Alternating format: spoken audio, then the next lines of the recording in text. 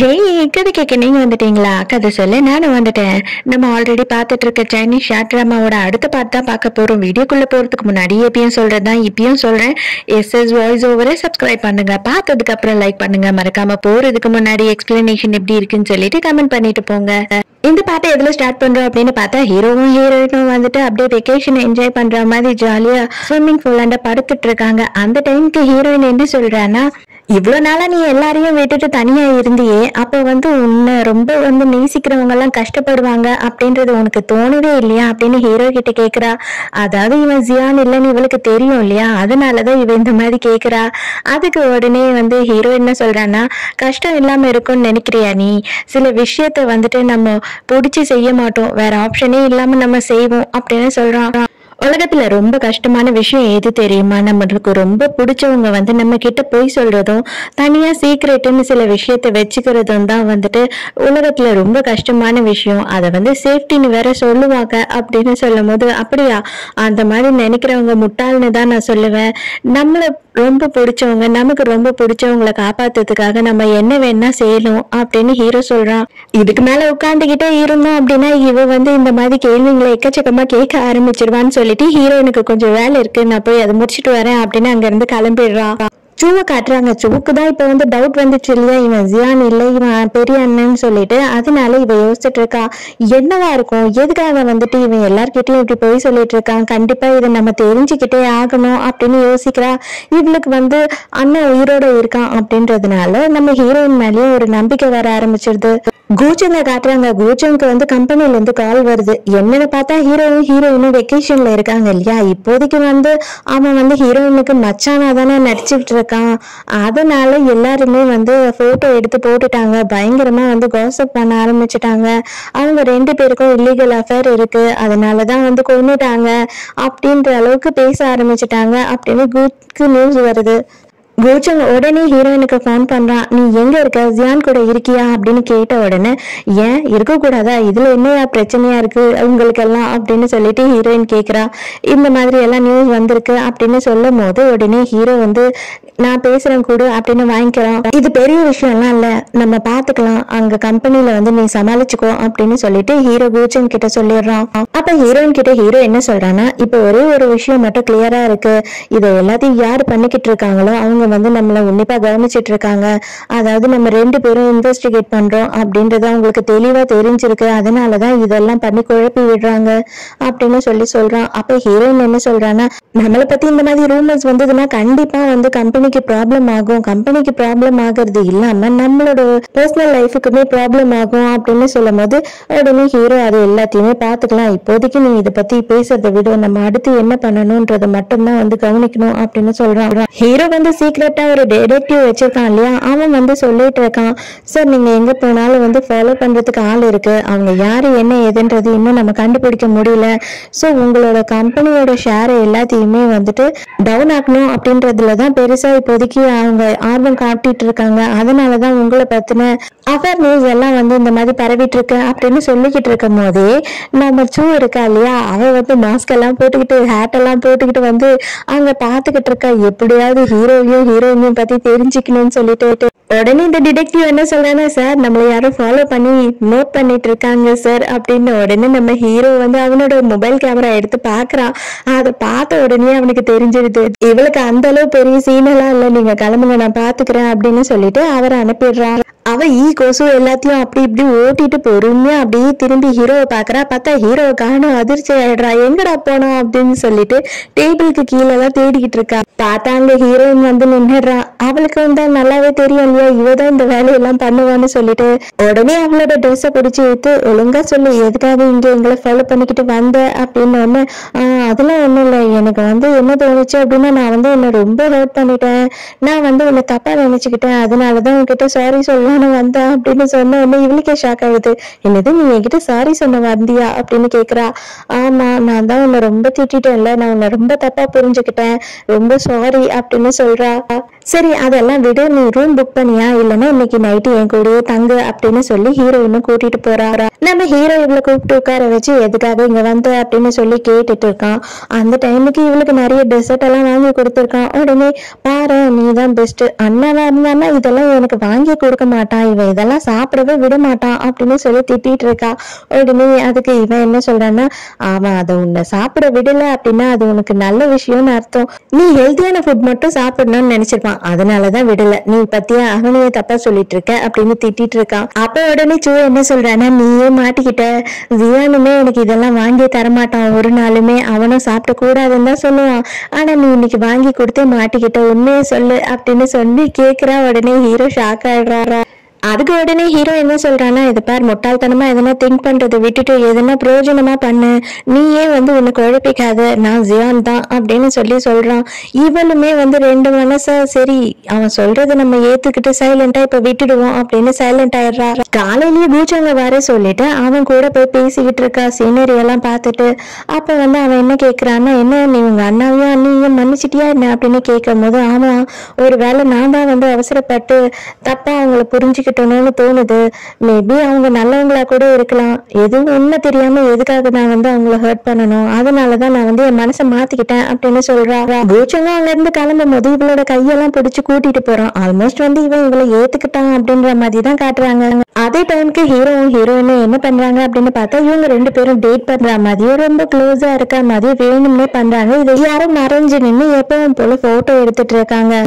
இதெல்லாம் இவங்க போஸ் எல்லாம் கொடுத்து முடிச்சுட்டு கிளம்புறாங்க. கிளம்பி காரை எடுக்கிறதுக்குள்ளேயே இவங்கள பத்தின போட்டோஸ் ரூமர்ஸ் எல்லாம் வந்து ஆன்லைன்ல வந்துடுது. அதான் இவங்க எவ்வளவு ஃபாஸ்டா இருக்காங்க பாரு அப்படின்னு சொல்லிட்டு இருக்கான் ஹீரோ ஹீரோ ஹீரோயின் கிட்ட என்ன சொல்றான்னா இது வரைக்கும் நீ எல்லா விஷயத்தையுமே நல்லா ஹேண்டில் பண்ண. நீ நல்லா ஹேண்டில் பண்ணுவ. கம்பெனியை நல்லா பார்த்துப்பேன்னு எனக்கு நல்லாவே தெரியுது. எனக்கு புரியுது. பட் ஆனா இந்த ஒரே ஒரு டைம் மட்டும் என்கிட்ட விட்டுட்டு கொஞ்சம் சைலண்டா இறேன் அப்படின்னு சொல்லி சொல்றான். எங்க அம்மா கூப்பிட்டு வச்சு ரெண்டு பேரையுமே திட்டு திட்டுன்னு திட்டுறாங்க. என்னது இது? கம்பெனியோட ஷேர் எல்லாமே வந்து பயங்கரமா லோவா குறைஞ்சிடுச்சு. நீங்க ரெண்டு பேரும் எதுக்காக இந்த மாதிரி எல்லாம் பண்றீங்க? அப்படின்னு சொல்லி கேக்குறாங்க. அப்ப ஹீரோயின் சொல்றானா சொல்றான்னா இது எதுவுமே உண்மை கிடையாதுமா இது எல்லாத்துக்கும் நான் பொறுப்பேத்துக்கிறேன். மீட்டிங்ல என்ன நடந்தாலும் அதுக்கு நான் பதில் சொல்லிக்கிறேன். அவங்க கிட்ட நான் எல்லாத்தையும் எக்ஸ்பிளைன் பண்றேன் அப்படின்னு சொல்றான். அதே மாதிரி ஷேர் ஹோல்டர்ஸ் மீட்டிங்ல என்ன நடக்குது அப்படின்னு பார்த்தா இவங்க ரெண்டு பேரையும் கிழி கிழின்னு கிழிக்கிறாங்க. வெக்கமா இல்ல அண்ணன் வந்து செத்து போயிட்டான். நீ வந்து உங்க அண்ணி டேட் பண்ணிட்டு இருக்க. நம்ம கம்பெனி பேரே மாறுது. அது மட்டும் இல்லாம ஷேர் எல்லாமே மொத்தமா போயிடுச்சு. அப்படி இப்படின்னு கண்ணா பின்னான்னு பேசிக்கிட்டு இருக்காங்க. சுவமே என்ன பண்றா அப்படின்னு பார்த்தா அண்ணாக்கும் அண்ணிக்கும் சப்போர்ட் பண்ற மாதிரி பேசுறா. இதெல்லாம் ரொம்ப கேவலமா இருக்கு. ரெண்டு பேரும் சேர்ந்து ஒன்னா பழகுனா அவங்க தப்பு பண்றாங்கன்னு அர்த்தமா என்ன அப்படின்னு கேக்குறா. அதுல கிம்முன்னு அர்த்தம் இருக்கான். அவன் என்ன சொல்றான் அப்படின்னு பார்த்தா எனக்கு இப்பதான் புரியுது. திடீர்னு என்னோட புருஷன் வந்துட்டு காணாம போயிட்டான்னு சொன்னீங்க. அதுக்கப்புறமா திடீர்னு கொஞ்ச நாள் கழிச்சு அவன் செத்துட்டான்னு சொன்னீங்க. அவனோட ஷோஸ் எல்லாமே உங்களுக்கு வந்துருச்சு. அப்போ வந்து நீங்க தான் வேணும்னே வந்து உங்க புருஷனை கொண்டுட்டு தம்பியே வந்துட்டு டேட் பண்ணீங்க அப்படின்னா கண்டிப்பா அவனோட ஷேரை சேர்ந்து உங்களுக்கு வந்துரும்னு பிளான் பண்றீங்களோ? அப்படின்னு சொல்லி கேக்குறான். அப்ப கு என்ன பண்றான் அப்படின்னு பார்த்தா அவன் வந்துட்டு கொஞ்சம் போட்டோஸ் எல்லாம் எடுத்துட்டு வந்து காட்டுறான். இதுல பேக் சைட்ல தான் வந்துட்டு கிளியரா இருக்கு. ஃப்ரண்ட் சைடு கிளியராவே இல்ல. எதை வச்சு வந்து இது ஹீரோயின் தான் நீங்க சொல்றீங்க? மேபி அவங்க போட்டு இந்த ட்ரெஸ் ஒன்னா இருந்திருக்கலாம். ஆனா வந்து இந்த போட்டோவை ஸ்கேன் பண்ணி பார்க்கும்போது அவங்களோட பாடியும் இந்த பாடியும் வேற மாதிரி இருக்கு. அதனால இது ஹீரோயினே கிடையாது அப்படின்னு சொல்லி இவங்க ப்ரூவ் பண்ண விரும்புறாங்க. உடனே ஹீரோயினுமே வந்து எங்களோட எக்ஸ்பிளனேஷன் முடிஞ்சிடுச்சு. இதுக்கு மேல நீங்க என்னதான் பண்ணணும்னு விரும்புறீங்க அப்படின்னு கேக்குறா. என்ன விரும்புறோம் அப்படின்னு கேட்டா என்ன சொல்றது? எங்களுக்கு வந்து உங்க மேல நம்பிக்கை போயிடுச்சு. அதனால இதுக்கு மேல நீங்க ரெஸ்ட் எடுத்துக்கிறது தான் நல்லது அப்படின்னு சொல்றான் அதாவது இந்த போஸ்டிங் விட்டு விலகி போயிடு அப்படின்னு சொல்றான். அப்ப உடனே என்ன சொல்றான்? ஹீரோ அப்படின்னு பார்த்தா கரெக்ட் தான். நீங்க சொல்ற எல்லாமே கரெக்டா அவங்க ரெஸ்ட் எடுத்து தான் ஆகணும். அவங்க வந்து நாலு வருஷமா இந்த கம்பெனிக்காக ரொம்ப கஷ்டப்பட்டுட்டாங்க இதுக்கப்புறம் எல்லா ஷேரையும் என்னோட பொறுப்பா எடுத்து நானே வந்து இந்த கம்பெனிக்கு சிஇஓவா ஆகலாம்னு இருக்கேன் அப்படின்னு சொல்லிடுறான் டக்குன்னு ஹீரோ ஹீரோ இன்னைக்கு செமையா டென்ஷன் ஆயிடுது. என்னடா இப்படி சொல்லிட்டியேன்னு. அப்ப ஹீரோ என்ன பண்றான் அப்படின்னு பார்த்தா அவங்க அண்ணன் வந்து பேசின மாதிரி ஒரு வீடியோ எல்லாருக்கும் போட்டு காட்டுறான். அதாவது நான் வந்து எப்படியாவது உடம்பு சரி பண்ணிக்கிட்டு என்னோட ஒய்ஃப் என் ஃபேமிலி வந்துடலான்னு வந்துடலாம்னு நான் நினைச்சேன். பட் ஆனால் எக்கச்சக்கமான ஆப்ரேஷன் எல்லாமே எனக்கு நடந்துடுச்சு ஆக்சிடென்ட்டுக்கு அப்புறம். பட் இதுக்கப்புறம் என்னால் வந்து பிழைக்க முடியுமா முடியாதான்னு எனக்கு தெரியல. என்னோட ஹெல்த் கண்டிஷன் வந்து ரொம்ப மோசமாயிடுச்சு. இந்த சூழ்நிலையில் நான் என்னோட ஒய்ஃபை வந்து பார்க்குற மாதிரி இல்லை. தயவு செஞ்சு நீ அவளை பார்த்துக்கோ அப்படின்னு சொல்லிட்டு ஜியான் கிட்ட சொன்ன மாதிரி ஒரு வீடியோவை போட்டு காட்டுறான். ஸோ இது எல்லாத்தையும் நான் உங்ககிட்ட எல்லாம் முதல்ல காமிச்சிருக்கணும். நான் இவ்வளோ லேட்டாக காமிச்சதுக்கு என்ன மன்னிச்சிருங்க. அவனோட ஷேர்ஸ் எல்லாத்தையும் என்கிட்ட தான் அவன் கொடுத்துருக்கான். அவன் இது எல்லாத்தையுமே வந்து என்னதான் பாத்துக்கணும்னு சொல்லியிருக்கான். இதுதான் அவனோட கடைசி உயில் அப்படின்னு சொல்லிட்டு அவன் வந்து ஒரு டாக்குமெண்ட்டை காட்டுறான்.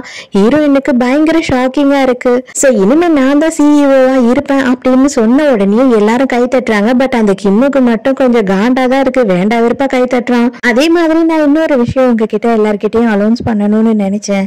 எனக்கு வந்து இன்னும் ஒரு வாரத்துல என்கேஜ்மெண்ட் நடக்க போகுது. என்னோட பிரான்சிஸ் எலினா வந்து ஒன் வீக்கில் வந்துருவாங்க அப்படின்னு சொல்ல எல்லாரும் அவ்வளவுதான். இன்னும் ஷாக் ஆயிடுறாங்க. என்னடா நீ இடி மேல இடியா போட்டுக்கிட்டே இருக்கேன்னு சொல்லி பூச்சங்க என்ன சொல்றான்? அப்படின்னு பார்த்தா நானுமே வந்து உங்ககிட்ட எல்லாம் சில விஷயத்த மறைச்சிட்டேன். எனக்குமே வந்து ஒரு விஷயம் தெரியும். ஹீரோ வந்துட்டு நாலு வருஷத்துக்கு முன்னாடியே இறந்து போயிட்டாரு. அந்த வீடியோ எங்க கிட்ட இருக்கு அப்படின்னு சொல்லி கூச்சங் வேற போட்டு காட்டுறான். அவ்வளவுதான் ஹீரோயின் உடைஞ்சே போயிடுறா. எதுவுமே பேசாம ஹீரோயினுமே அங்கிருந்து அப்படியே நடந்து போறா. அவளுக்கு என்ன பேசுறது என்ன பண்றதுன்னு கூட எதுவும் தெரியல. அவ பாட்டு ரொம்ப சோகமா அங்கிருந்து போக ஆரம்பிச்சிடுறா. அவ்வளவுதான். அம்மா தங்கச்சி எல்லாருமே வந்து கொஞ்சோண்டு நம்பிக்கை இருந்தது கூட மொத்தமும் போய் எல்லாரும் பயங்கரமா அழ ஆரம்பிச்சிடுறாங்க. ஹீரோ நைட்டு வேக வேகமா வந்து வீட்டுக்கு வரான். ஹீரோயின் வந்து என்ன பண்ணிட்டு இருப்பா? அவளுக்கு எப்படியாவது சொல்லி புரிய வைக்கணும்னு சொல்லிட்டு. ஆனா ஹீரோயின் அங்க அப்படியே வந்துட்டு எல்லாம் சமைச்சு போன மாதிரி உட்கார்ந்துட்டு இருக்கா. இவன் வர்றத பார்த்த உடனே நில்லு கிட்ட வராத அப்படின்னு சொல்லிடுறா. இவனுமே அப்படியே நின்னுடுறான். அப்பதான் ஹீரோ வந்து எல்லா உண்மையும் சொல்கிறான் நான் உன்கிட்ட போய் சொல்லிட்டேன். உண்மையாகவே வந்து இந்த நாலு வருஷமாக உன்னை ரொம்ப கஷ்டப்படுத்திட்டேன். எனக்கு வேற வழியே தெரியல. உன்னை இதுலேருந்து காப்பாத்துறதுக்கு நான் திரும்பவும் வந்துட்டேன் ஹனி நான் நான் தான் அப்படின்னு சொல்லி இவகிட்ட சொல்கிறான் இவ அப்போவுமே எந்த ரெஸ்பான்ஸும் கொடுக்காம உட்காந்துட்டு இருக்கா. இவன் வந்து எல்லாத்தையும் இவகிட்ட விளக்கமா சொல்றான். தயவு செஞ்சு என்னை புரிஞ்சுக்கோ. எனக்கு வந்து உன்னை காப்பாத்துறதுக்கு வேற வழியே தெரியல. நான் என்ன பண்ண முடியும்? அதனாலதான் நான் வந்து என்னோட உண்மையான விஷயத்த உன்கிட்ட சொல்லாம நானும் என்னோட தம்பியும் வந்து பிளான் பண்ணி தான் இந்த விஷயத்த எல்லாத்தையுமே செஞ்சோம். எனக்கு ஜியான் தான் இருப்பானா? இது எல்லாத்துக்குமே. தயவு செஞ்சு நீ வந்து என்னை புரிஞ்சுக்கிட்டு தான் ஆகணும் அப்படின்னு கெஞ்சிக்கிட்டு இருக்கான். இவன் வந்துட்டு என்ன சொல்றான்னா தயவு செஞ்சு இங்க இருந்து எழுந்து கிளம்பிடு. என் புருஷன் என்னைக்கோ சேர்த்துட்டான். நீ என் புருஷனே கிடையாது. முடியாது அப்படின்னு சொல்லிட்டு ரூம்குள்ள போய் கதவை சாத்திக்கிறா. இவன் நான் இங்கேருந்து போகவே மாட்டேன் அப்படின்னு சொல்லிட்டு இவனும் இவளும் என்னென்னலாம் வந்து பேசினாங்களோ லவ் பண்ண டைம்ல அதுக்கப்புறம் கல்யாணம் பண்ண டைம்ல இவன் எப்படிலாம் இருப்பா எப்படிலாம் நடந்துப்பா எல்லாத்தையுமே வந்து சொல்லிட்டு இருக்கான். என்ன நீ மறந்துட்டேன்னு சொன்னீன்னா அது போய் நான் செத்துட்டேன்னு நீ நினச்சிட்ட அப்படின்னா அதுவும் போய். இன்னமும் மனசில் மனசுல நான் தான் இருக்கேன்னு எனக்கு நல்லாவே புரியுது. நீ என் மேலே கோவமா இருக்க தயவு செஞ்சு அந்த கோவத்தை ஒதுக்கி வச்சுட்டு என்னை மன்னிக்க பாரு அப்படின்னு சொல்லிட்டு இருக்கான். அதுக்கப்புறம் தான் அவன் சொல்றான் நானும் கூச்சங்கும் சேர்ந்து தான் இந்த பிளான் பண்ணோம். கூச்சங்க்கு வந்து நான் எல்லா உண்மையையும் சொல்லிட்டேன். அதாவது இவன் கூச்சங்க தனியா கூப்பிட்டு பேசியிருப்பான் இல்லையா? அதுல பாதியிலேயே நமக்கு நிறுத்தியிருப்பாங்க. அதுக்கப்புறம் தான் வந்து இந்த வெக்கேஷன் பிளான் அதுக்கப்புறம் இந்த போட்டோ எடுக்கிறது அது எல்லாமே இவங்களோட பிளான் தான்.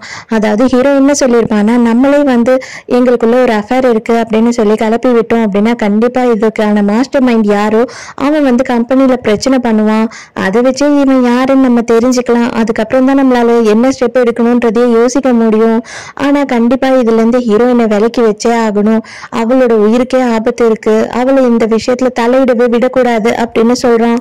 அப்போ கூச்சங் என்ன கேட்டிருப்பானா நீ வந்து இன்னமும் அவகிட்ட உண்மையே சொல்லாம இருந்தா அவ ரொம்ப கஷ்டப்படுவா. ஆல்ரெடி நீ இல்ல நீ செத்துட்ட. இல்ல நீ இருக்கியா இல்லையா அப்படின்னு தெரியாம அவ ரொம்ப வேதனையில இருக்கா. இப்ப வரைக்கும் அவ உன்னதான் நினைச்சிட்டு இருக்கா. ஏன் நீ வந்து அவகிட்ட உண்மையை சொல்லக்கூடாது அப்படின்னு கேட்கும் போது இப்போதைக்கு அவளுக்கு தெரியக்கூடாது. அவளுக்குமே வந்து கொஞ்சம் டைம் ஆகட்டும். அப்புறமா நான் கண்டிப்பா சொல்லிக்கிறேன். அவகிட்ட வந்து அதுக்கப்புறம் நான் சாரி சொல்லிக்கிறேன் அப்படின்னு சொல்றான். ஹீரோயின் வந்துட்டு உள்ள ரூம்ல உட்காந்து அழுதுகிட்டே இருக்கா. ஹீரோ உட்காந்துக்கிட்டு எல்லா விஷயத்தையும் அவகிட்ட சொல்லிக்கிட்டே இருக்கான். ஹீரோயின் வந்து கதவை திறக்கிறா. ஹீரோவும் ஆர்வமா எழுந்துக்கிறான். நானும் ஆர்வமா கட்டி பிடிச்சிருவாங்கப்பா சேர்ந்துருவாங்கப்பா அப்படின்னு நினைக்கும் போது என் புருஷன் எப்பயோ சேர்த்துட்டா மரியாதை இங்க இருந்து வெளியில போ அப்படின்னு சொல்லிடுறா. சோ இதோட இந்த பார்ட் முடியுது. அடுத்த பார்ட் வந்து ஃபைனல் பார்ட் தான். அடுத்த பார்ட் நம்ம இந்த டிராமாவை முடிச்சிடலாம். இந்த எக்ஸ்பிளனேஷன் பிடிச்சிருக்கா? இந்த ட்ராமா பிடிச்சிருக்கா? அப்படின்னு சொல்லிட்டு மறக்காம எனக்கு கமெண்ட் பண்ணுங்க. ஸோ நாளைக்கு மறக்காம கதை கேட்க வந்துருங்க. நானும் மறக்காம கதை சொல்ல வந்துடுறேன். பாய்